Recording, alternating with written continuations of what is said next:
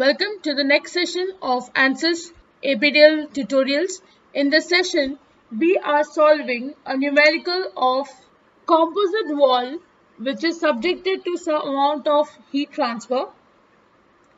A wall of a furnace is made up of inside layer of silica brick 120 mm thick covered with a layer of magnesite brick 240 mm thick. So there are two layers of brick as we can read here. The temperatures at the inside surface of silica brick wall and outside surface of magnesite brick wall are 725 degrees Celsius and 110 degrees Celsius respectively. If thermal conductivities of silica and magnesite bricks are 1.7 watt per meter degree Celsius and 5.8 watt per meter degree Celsius, calculate the rate of heat loss per unit area of walls and the temperature drop at the interface. So these are two things we have to find and these are the properties and data given to us. So we will start with ANSYS APDL.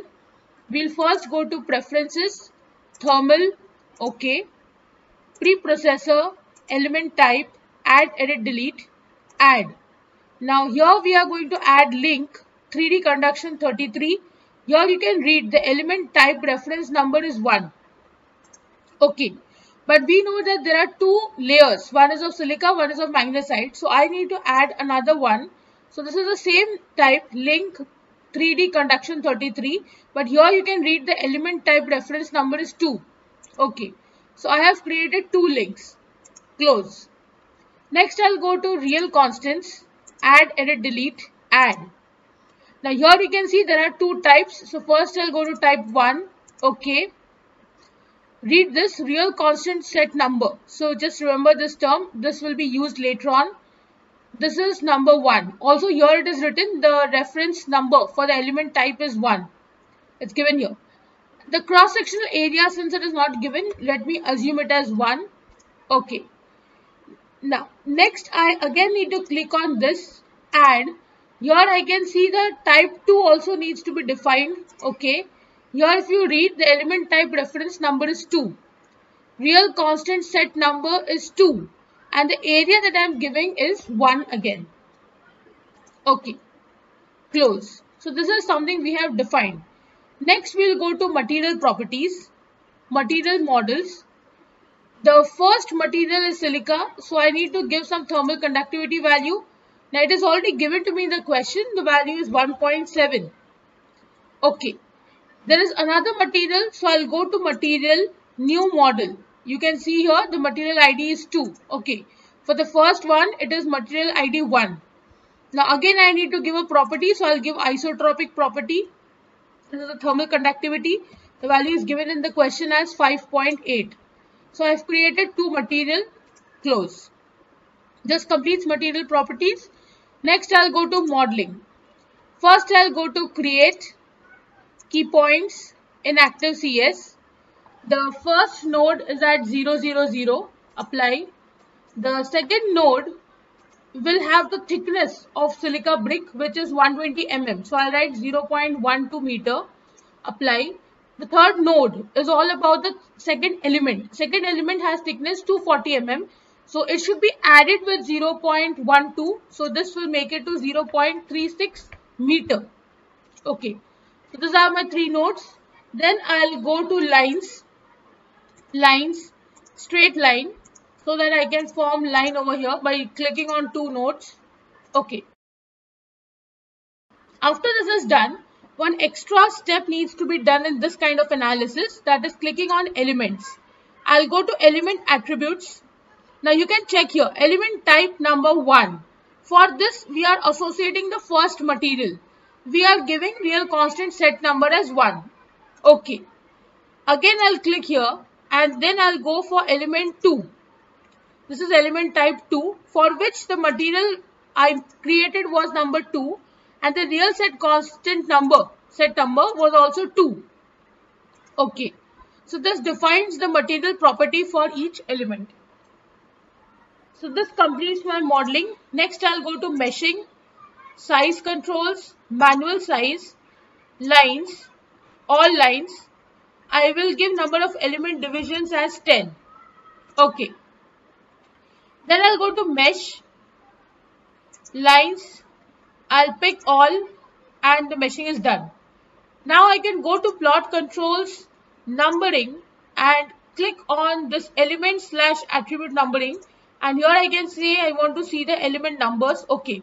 So now I can clearly see all the element numbers. Now one thing that I would do here is I would try to find out where is the interface. Now if you understand we have given 10 divisions for each element which means first 10 elements are of the first element that is silica brick and these four elements that you see here these are for the next one. So meshing is done. Next I will go to loads, define loads, apply, thermal, temperature on key points. Now we read that on inside surface of silica brick the value of temperature is 725 degrees Celsius and the temperature on the outside wall of magnesite brick was 110. So this completes my temperature loading. Next I'll go to solution, solve, current ls. Okay, solution is done. So close it. Then I'll go to general post processing, plot results, contour plot, nodal solution. I first want to see the nodal temperature. So these are the values that you can see. I can go to plot controls, style, size and shape. If I click here display of elements on, I can see the element here. Now I can see the isometric view so that I can see a 3D figure or I can see something like this, the front view wherein I can see the distinction now the difference of the two color over here is actually indicating the interface temperature. So if you can just count over here 1, 2, 3, 4, 5, 6, 7, 8, 9, 10. So the yellow one ends with 10 elements and after that with the green, the light green color here, you would see the start of the next element. So the transition from yellow to green over here, this yellow color to this green color is actually the transition and that is going to indicate the difference of temperature here, interface temperature. Now we can discuss about this by some other method also if you don't want to use this method and you find it a little difficult. Apart from the nodal solution showing the temperature, I can also see the thermal flux along the x-axis. Now I decided x-axis by seeing this direction, x. So the value over here is 9908 this is the value of heat flux through the body.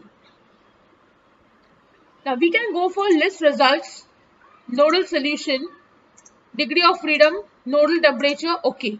Now here if you recollect, I had told you after 10 starts the second element that is magnesite brick. So 10 to 11 is nothing but your change from one element to the other. So that is the interface temperature will lie between 10 and 11. So if you subtract the value of these two, that is 561 minus 540.5, this is going to give you the interface temperature. The difference between these two values is 20.5. So approximately your interface temperature will be 20.5. And we have also calculated the heat flux over here you cannot get the value of heat flux here as I've told you because it's the same value so the software doesn't give any solution. So this is how you can see your results for this type of a question. I hope you have understood the procedure for solving this numerical. If you have any doubts, please write to me in the comment section. Don't forget to like, share and subscribe to my channel. Hit the bell icon for latest updates of my videos. See you in the next session. Thank you.